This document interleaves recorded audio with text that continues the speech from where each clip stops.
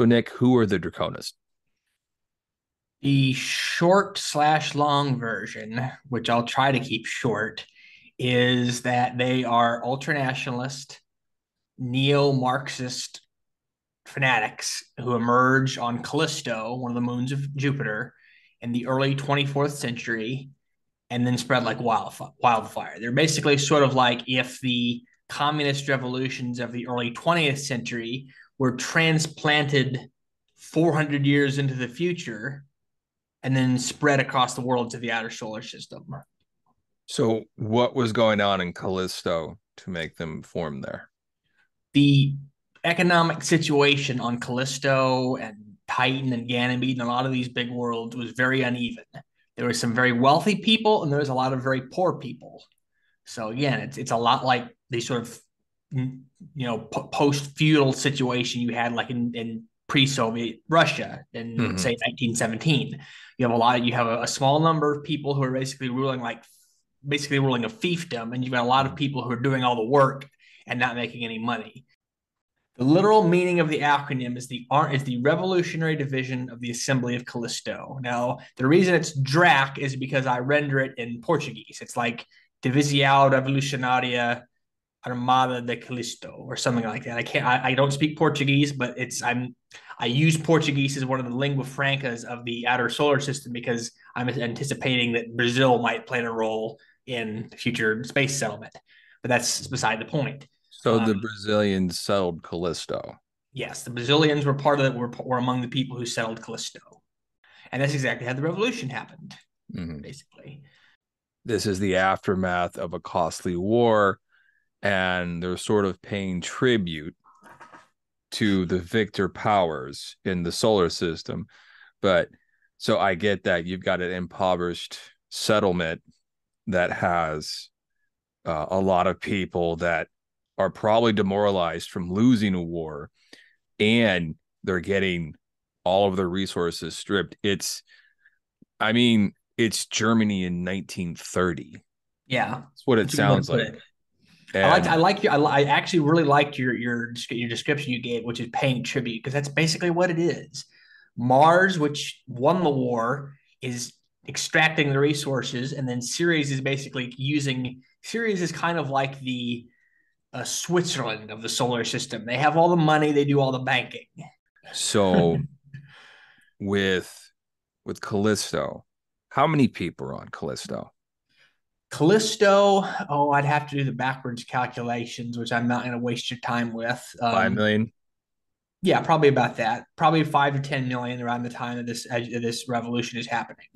Okay. Now, is it a big city with lots of settlements around it? What's going it's on? It's a number of big cities with smaller cities and settlements around them. Because the way I envision these worlds is they're not like Earth, where there's like yeah. Hundreds of thousands of big cities. It's a couple really big metro- metropolitan areas and then lots of little settlements. So basically, most of the people live in big cities, and on a lot, and a lot of them, are like maybe forty percent live in big cities, and then the other sixty percent live in settlements. Okay, now it, are these open air settlements? Can they breathe the oxygen on Callisto? Can they breathe uh, no. air? They're they're they're like domed and they're and they're in tunnels, stuff like that. It's kind of it's kind of like Mars, um, and except okay. more intense because Callisto actually does not have much of an atmosphere. Mars technically has somewhat of an atmosphere. Callisto has even less. Okay, so not only is it economically depressed and demoralized from losing a war, but also you're basically stuck inside. Yeah. And your whole life is spent inside. When was Callisto um settled by the the the Brazilians? So Callisto was settled beginning in the 2090s. Yeah. Okay. I, again, I'd have to check my own notes because even I do lose track of some of these bits bits of data. But yeah, it's, the, it's like the 2090s and then through the early 22nd century. Okay. And so when about was the revolution on Callisto then? The revolution we've been talking about is yeah. happens in the early 24th century. So that's about 200 years later. So okay. they've been there about 200 years. So it's, it's again, your, your analogy of, um, you know, colonial America is, is, is not, is not, is not, is, or is apropos Yeah. Because, you know, Americans had, there have been people in America for about 200 years by the time the American Revolution happened. Yeah. The revolution on Callisto, well, the Draconist Party or Draconist Front emerged mm. in 2317 and they took okay. power on Callisto in 2324. Okay. So it was like a seven year conflict, give or take. Well, no, it's because that, that's not the conflict. Well, but to take over Callisto. Yeah, to take over. It's it, it, it, it was it was it was a pretty quick ascent. But yeah, that's so, basically that's basically what happened. Is uh the it was their Beer Hall Putsch, right? There was yes, the the you know Kristallnacht was in the er, the, the night of broken glass where they were the Nazis running the Jews off and and just harassing people and being fucking awful and burning books and and murdering innocent people. You know that the death camps weren't the next day. You know, um, you know, invading, you know, taking Paris didn't happen the next day but the Nazis had to take power slow, you know, over they kind of took power over Germany really over 6 or 7 years. Yeah. You know. More than and, that if you look at the actual history cuz I think like the the party that became the Nazi party was founded in like 1920 and they yeah. didn't take power until 1933. Yeah. So it was like 13 years. Yeah. Um, there's lots of weird history to that, which again we don't necessarily need to get into because then it's then it gets a little weird. Um, but we'll save that for another time. It's, so, it's important to know for the sake of making historical analogy. I think that's what you're doing. So again, I'm not I'm not trying to say you're being weird, but yeah, that's what we're that's why we're no, not at all, not at all. Um, and so it's a seven year war to take Callisto, mm-hmm. and so is there is there a Mao? Is there a Stalin? Is there a Lenin? Is there a Hitler here? I haven't thought that far ahead. There probably is. And there's probably a couple of them because there's not like I, haven't thought of there being like a single unified leader. Um, there's usually but it would make sense for there to be. At least there's a there's there's a figurehead person because like I told you off mic, revolutions don't happen when people are happy Revolutions don't happen when bellies are full and the houses are warm. Revolutions happen when uh, everything's falling apart and you're kind of hopeless. Hopeless people join revolutions, you know, because a revolution means that the status quo stopped working for a large percentage of the population which means, you know, as Americans, we should say, oh, how can we make the status quo work for everyone? But that's mm-hmm. a story for another time. Yeah. Um, so I would imagine on Callisto that there was a Lenin, there was a Mao, there was a Hitler. Yeah.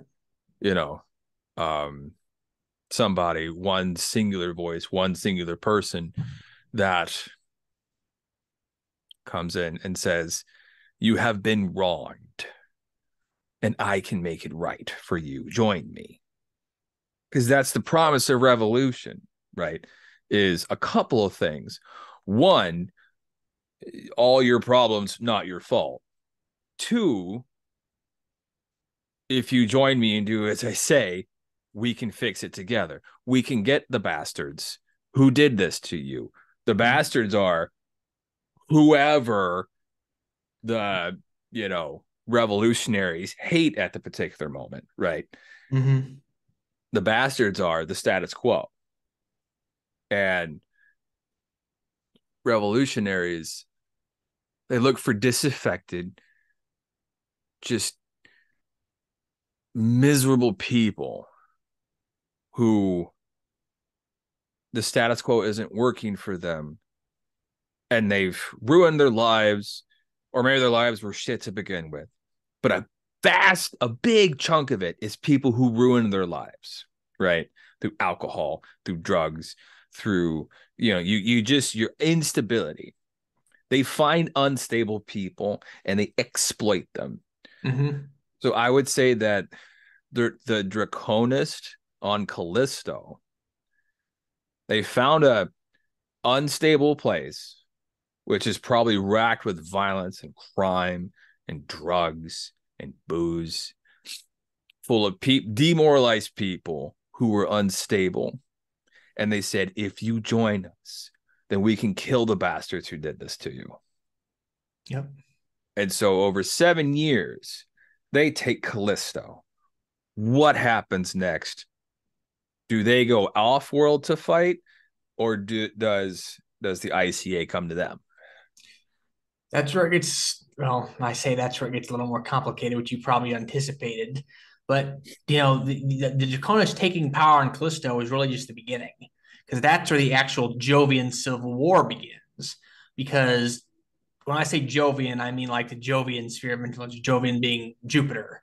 So there's obviously Callisto, but then there's a couple other big moons, and there's like dozens of smaller moons, each of which in this timeline is it's, it's settled and has people living on it doing things and just sort of living and doing work. So after they take power on Callisto, Callisto being a moon of Jupiter, right? Mm-hmm. Then they go to the other settled moons the, uh, of Jupiter and start conducting more revolutionary activities. Yes. To further expand their sphere of influence, upset the status quo. I'm guessing until that takes them to Titan. Yes.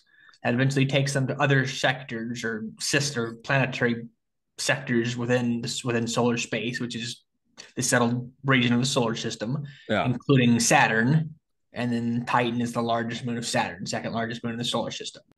And even as they're still fighting, that's the thing, even as they're still fighting to control the moon giant Jupiter, because part of what happens is for about six years, they, they, just fight amongst themselves. The locals, the, the ICA basically blockades the Jupiter, the Jovian system, and says we're not going to get involved except to keep the peace and to like safeguard, you know, commercial ships flying through. Eventually, they get dragged in because there's actually a, a something that I have that's analogous to the 9/11 attacks, which is um, the Draconis carry out a bombing of the Edwin Aldrin Memorial Spaceport on Mars. Okay basically for the same reason that Al Qaeda attacked nine. Uh, uh, basically for the same reason that Al Qaeda attacked America in 9 11, the 9 11 attack, which is to draw the ICA into a war that they thought would break the ICA apart. Yeah. You know,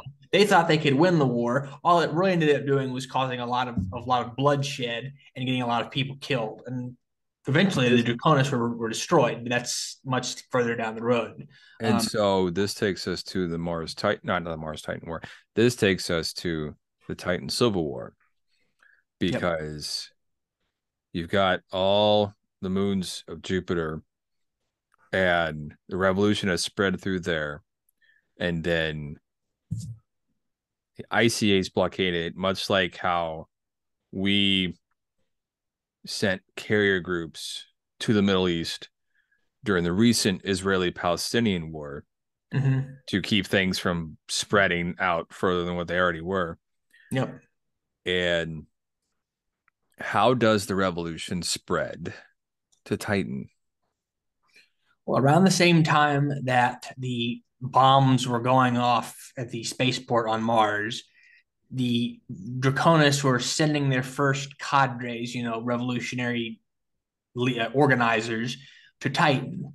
And they started recruiting militias from all the disaffected, disgruntled, disenfranchised people on Titan that you talked about earlier. Mm-hmm. And eventually they got enough political oomph behind themselves that they were able to force in this new political party, which was called the United People's Party. It's kind of like, again, going back to the an, an analogy of the Nazis. The Nazis entered power not just because they offered a, uh, a tantalizing alternative, but partially through strong arming because people were afraid of them. Um, they they they got they got plenty of political momentum behind them. But they also use the they also use the stick, not just the carrot. And so, you go ahead. Let me ask you this. Let's talk about Titan now a little bit. Mm-hmm. How many people are on Titan at this time? A little more than Callisto. Callisto Titan has always been the second most populous world in the solar system after after Mars, and Callisto is the third most populous. So we can say somewhere between 15 and 30 million. Yeah, somewhere around that time, probably around 15 million, 15 to 20. 15 to 20 million. Okay. Yeah. So more cities, more population. Now, is this a world where people can breathe outside or are they in domes? They're they're they live in domes. The thing about Titan is it has a it actually has a denser atmosphere than Earth. It's just the atmosphere is not breathable and it's very cold. It's like negative 290 Celsius or something like that. So I Um, think we're seeing a pattern where the Draconis seem to be successful is where they go to miserable fucking planets where no one can go outside, where the outside will fucking kill you.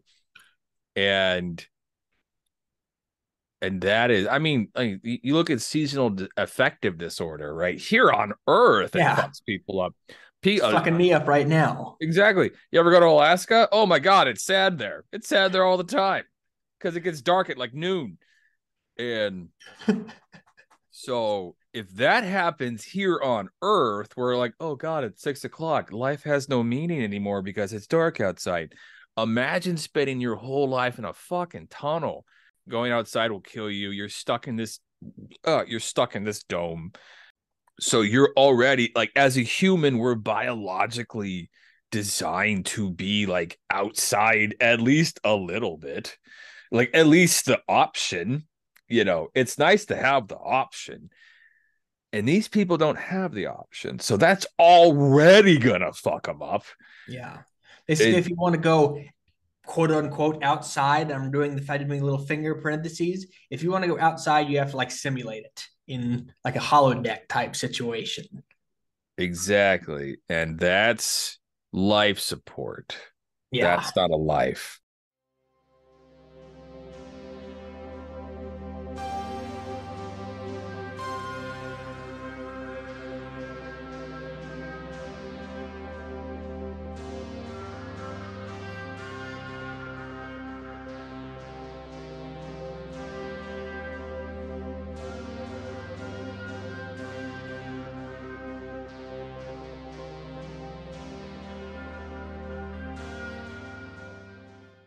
Chapter 1 New Galley, Mars, 2354. The night was cold and dark. Desert dust mingled with the air, forcing its way into your clothes and clinging to your hair, coating your skin, drowning your soul.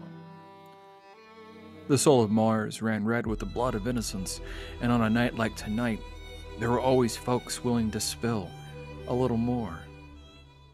Special Agent Janet Harkoff strode out of the night, scanning the street.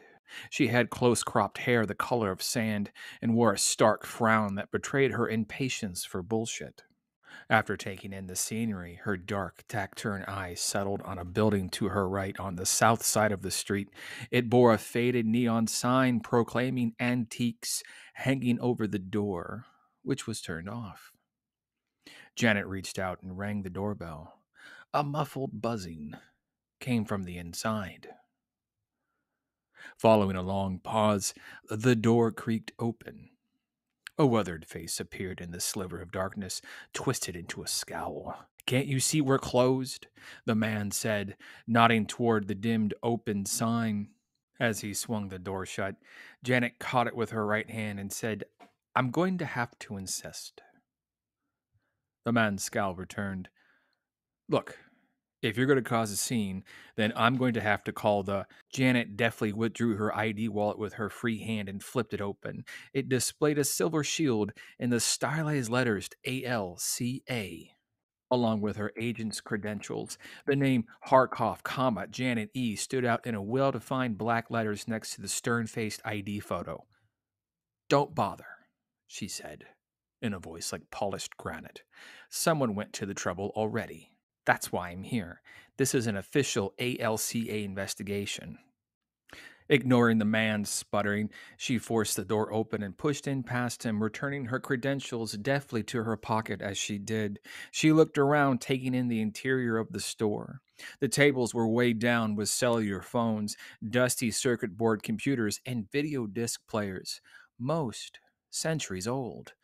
She grinned as she took in the scenery. telling him this sure is a nice setup you've got here. She picked up a wind up toy monkey off a display table, having only seen one before in vintage movies. She was half tempted to wind up the little piece of history and just see it clang away.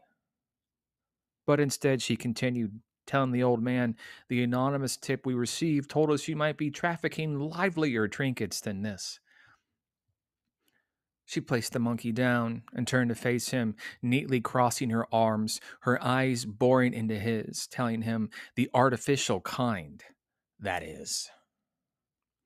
The old man licked his lips. Unable to keep her gaze for long, he smiled, showing several crooked teeth.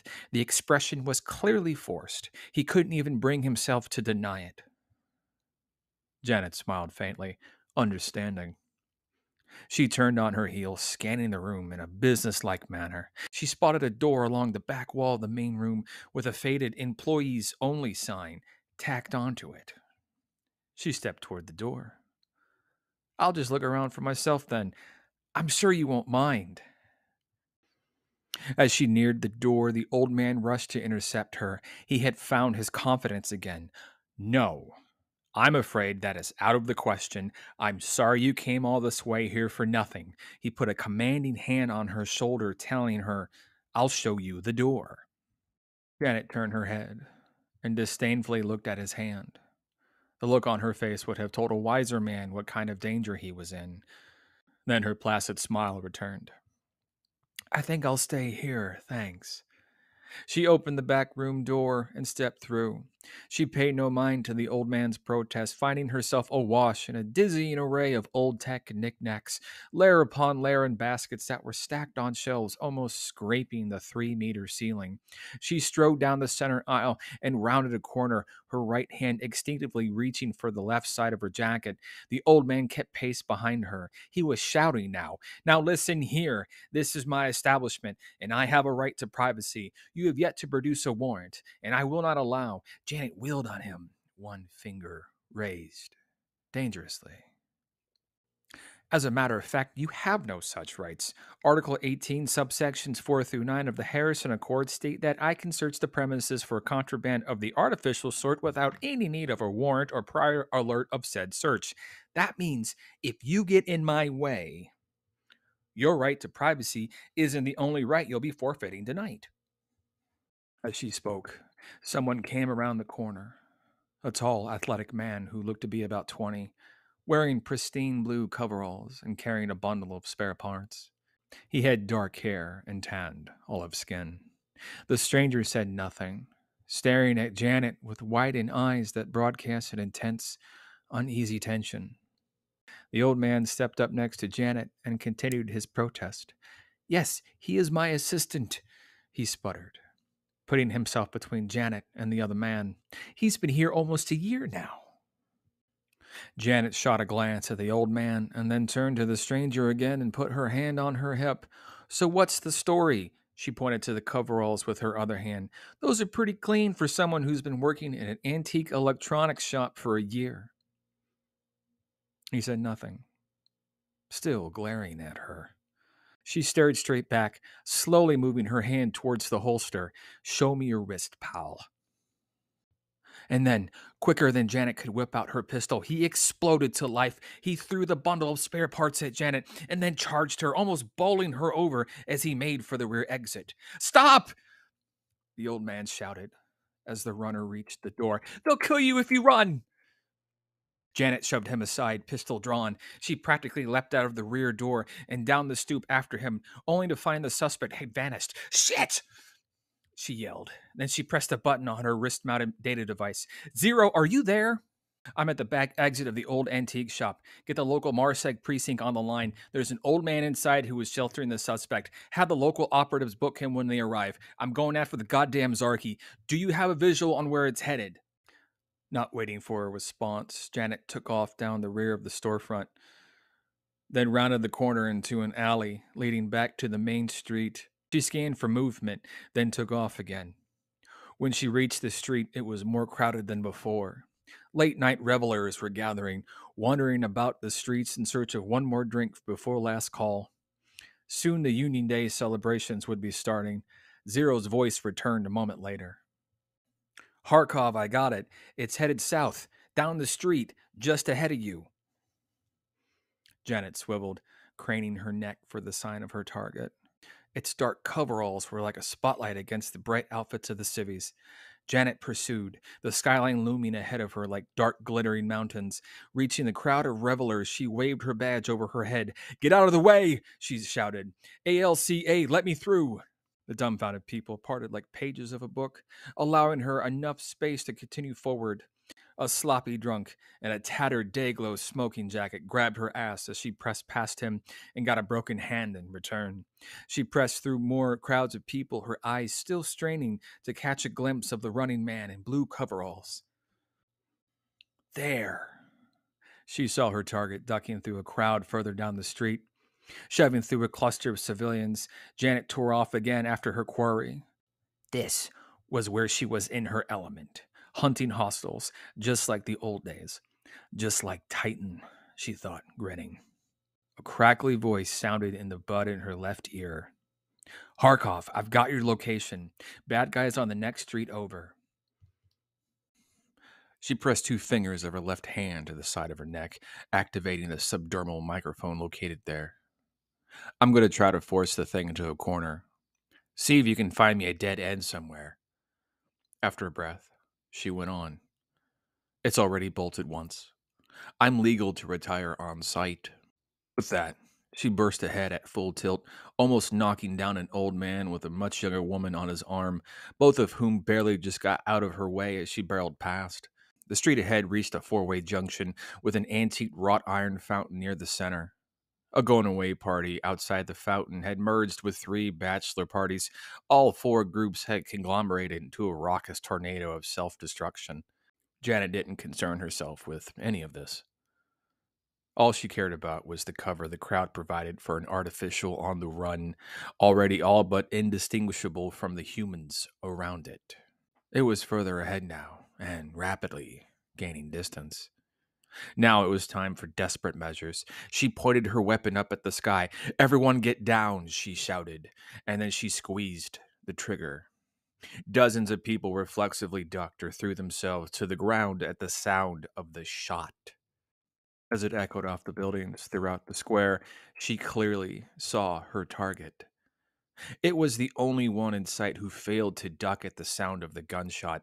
It was now turning down one of the side streets, heading directly for a blind alley. Janet leapt down the pedestal and took off again. She activated the subdermal mic. Zero, get the local precinct down here. Tell them to be ready for crowd control. And tell the agency to bring a tag and bag team for when I'm done with this piece of shit. In her ear, Zero's voice crackled. I thought you were going to take this one alive. Janet ignored him. She had made up her mind. The ones that caused trouble could spread funny ideas. For Janet's money, it was better to cut off the head of the snake before it got too big to wrangle. Up ahead, Janet could see the Zarn reach the dead end. It didn't miss a beat turning on its heel and aiming to take off past her before she made up her mind to shoot. That's why you never give them a chance, Janet thought bitterly. She'd seen it gone wrong so many times. She wasn't about to make that mistake again. Luckily, the wayward Zorn had taken a wrong turn down a dead end. Janet caught up to her target and came to a quick halt a half dozen paces away. She raised her pistol and aimed it at the artificial, now swiveling its head in search of an escape. End of the line, she said firmly. Put your hands on your head and get on your knees now. She tightened her grip on the weapon. It had run, which meant she was within her rights to kill it. All she needed, all she wanted, was a reason. All she had to do was wait.